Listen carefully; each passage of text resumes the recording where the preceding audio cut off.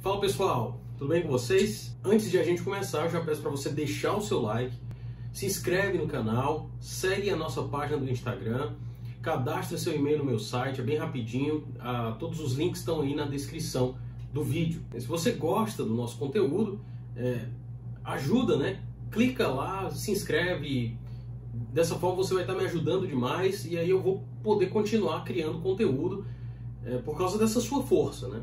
Depois de muito pedirem isso daqui, eu resolvi gravar um vídeo falando sobre o sistema Dharma, falando sobre como ele funciona.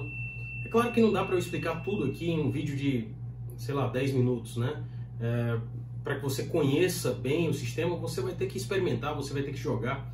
Mas a ideia de gravar um vídeo para explicar o sistema seria mais servir como um guia, como uma espécie de passeio pelas regras básicas do sistema, para que você possa conhecer a proposta que ele traz. Bom, como eu já falei em outros vídeos, o sistema Dharma tem a pretensão de ser um sistema universal e a ideia é que ele seja ele ofereça para você a possibilidade de jogar com absolutamente qualquer coisa, mas mais do que isso, até ter material para que você jogue com qualquer coisa jogos de videogame, séries, filmes, animes, a própria vida real.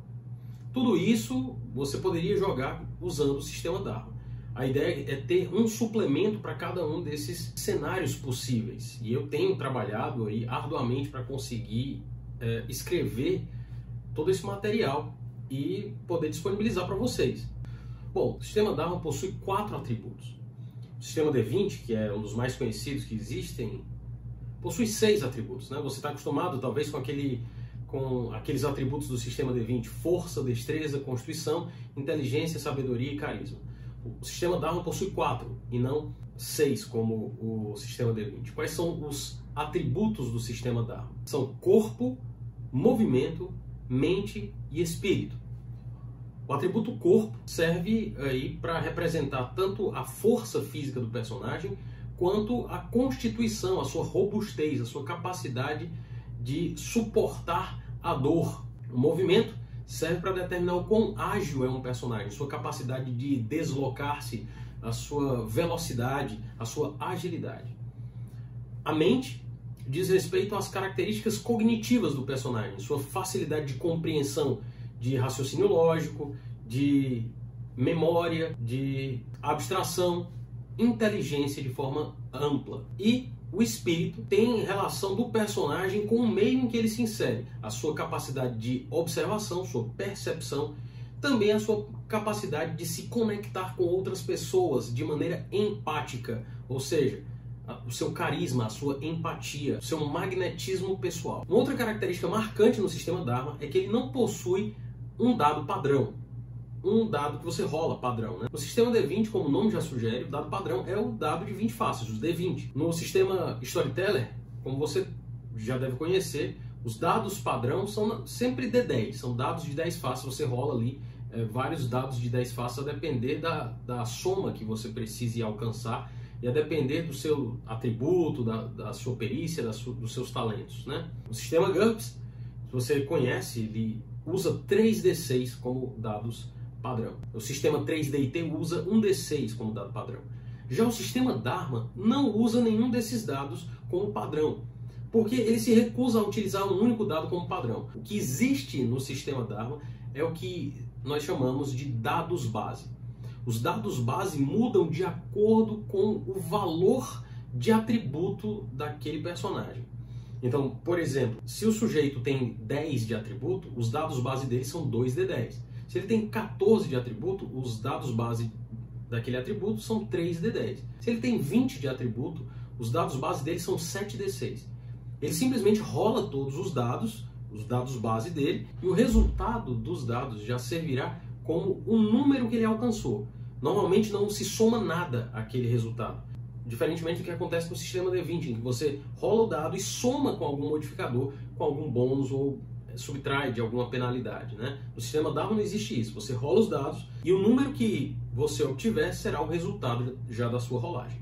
Diferentemente do que acontece na maior parte dos sistemas, não existem perícias pré-definidas em Dharma. Ou seja, você não vai encontrar lá na ficha do sistema Dharma uma lista com perícias como é, atletismo, arcanismo, todas essas coisas que você encontra, por exemplo, no sistema D20. O que existem são técnicas. Técnicas.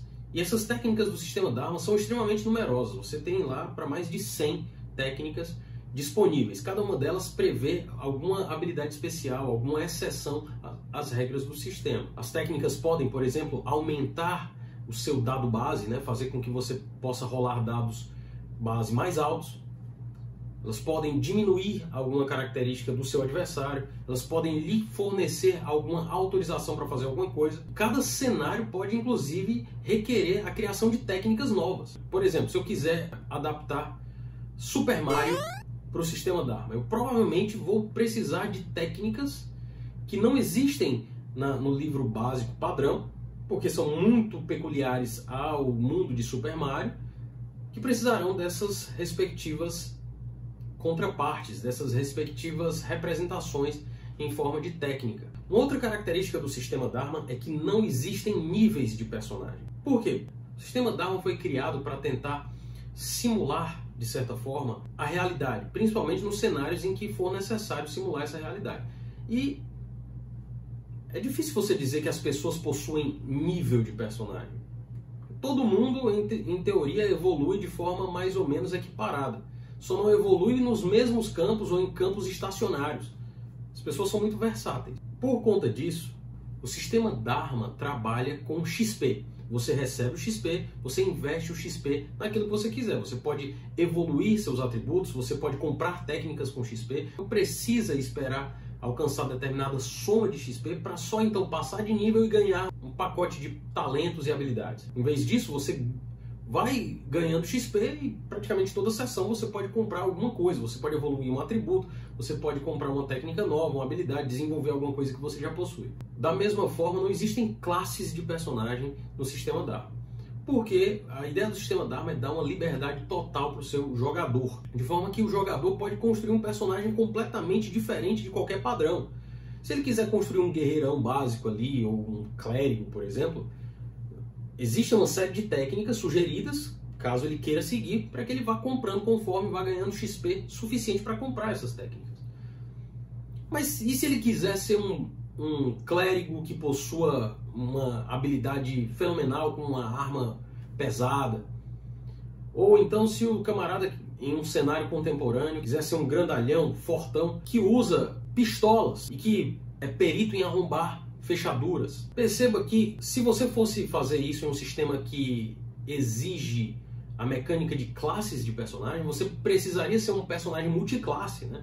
Precisaria pegar níveis de classes diferentes para ir mesclando essas habilidades, sendo que você nem teria escolha em relação a algumas habilidades daquela classe que você está pegando secundário que você não quer. Você é obrigado a pegar aquele pacote. No sistema Dharma, então você não tem essa limitação. Você é livre para criar o personagem do jeito que você quiser. Você pode pegar uma habilidade que é típica de clérigo, combinar com uma habilidade que é típica de bardo, e aí compra uma técnica que é típica de bruxo, Desde que você cumpra os pré-requisitos que são exigidos por cada técnica, você pode combinar isso tudo, fazer um personagem super diferente, super versátil, se tornar algo que você nunca jogou na sua vida. Um outro ponto muito importante do sistema Dharma é que ele não usa a mecânica de pontos de vida. Em vez disso, todos os personagens, todas as criaturas vivas possuem uma vitalidade.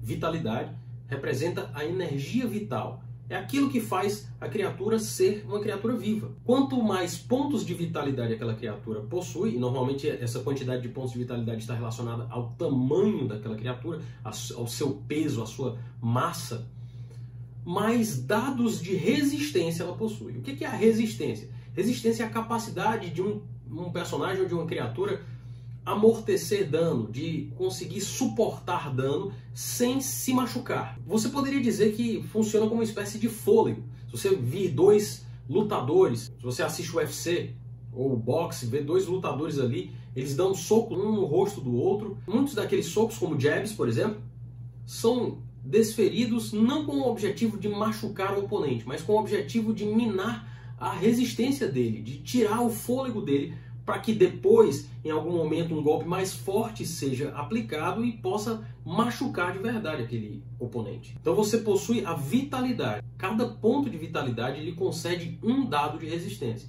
Se você tiver 5 pontos de vitalidade, você rola 5 dados de resistência e aquela resistência vai servir para amortecer o dano vai servir para lhe dar uma folga sem se machucar. Paralelamente a isso, você possui o limiar de dano e consequências. O que é isso, né? Limiar de dano é a tolerância de um personagem à dor.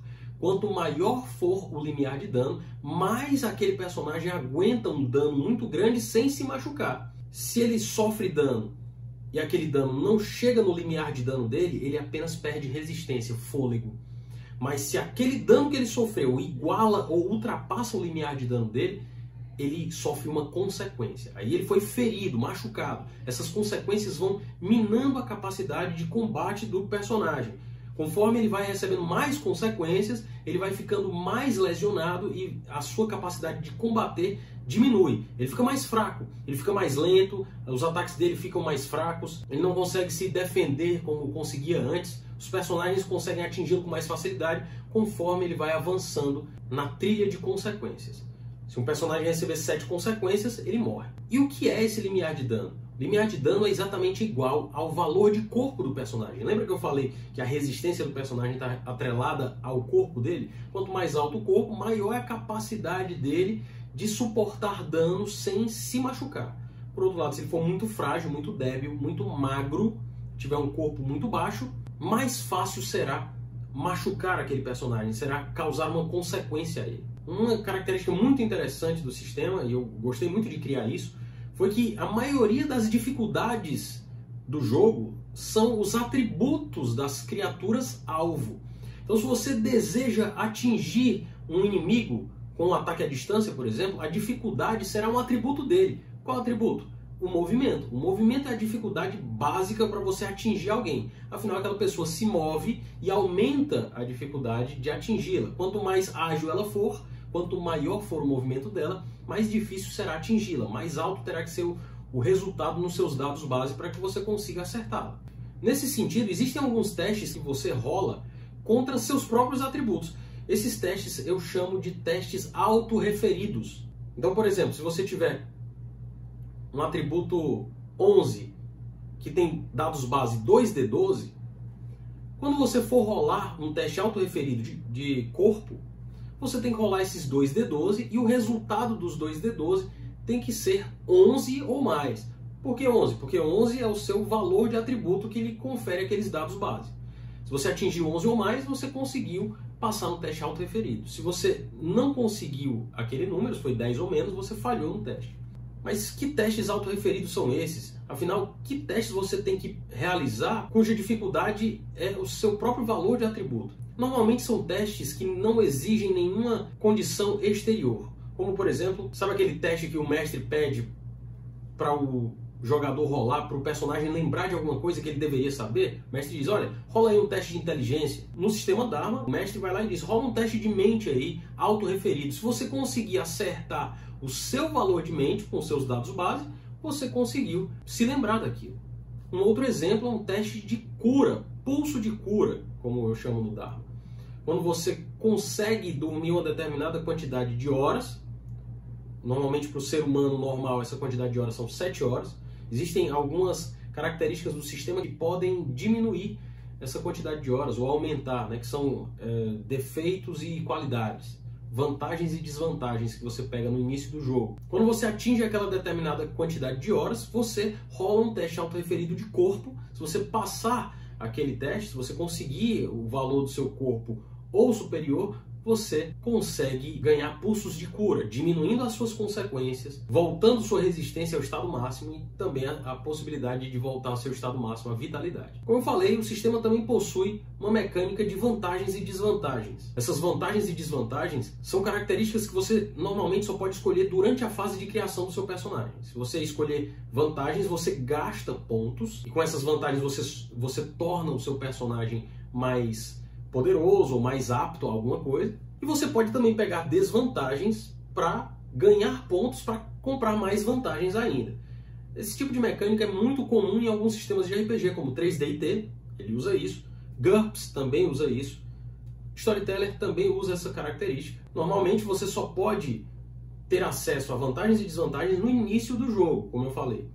Porém, algumas situações excepcionais podem garantir a você a possibilidade de comprar novas vantagens ou perder desvantagens ao decorrer do jogo. São exceções. Outra característica interessante sobre o sistema Dharma é que as armas e os ataques são categorizados a depender de sua velocidade. Armas normalmente são categorizadas em leves, versáteis ou pesadas. As versáteis funcionam como medianas.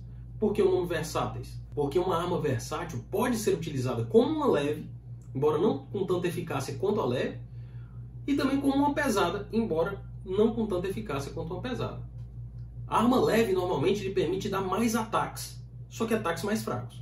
A arma pesada só lhe permite dar um ataque, às vezes até perdendo ali a sua possibilidade de defesa, só que um ataque muito mais forte. E a versátil lhe oferece essas possibilidades de atuar tanto como leve, como também uma pesada. Então, para o vídeo não ficar muito longo, eu vou terminar por aqui. Existem algumas outras coisas interessantes que o sistema oferece a você, mas que eu vou deixar para gravar em um outro vídeo. Se você tem interesse em saber mais sobre o sistema Dharma, saiba que o livro do sistema Dharma está à venda em várias lojas virtuais, na Amazon, nas lojas americanas, Submarino, até no Mercado Livre você consegue encontrar. Ele tem tanto a versão física, impressa, quanto também a versão digital, em e-book, Kindle, que é bem mais barato, bem mais em conta.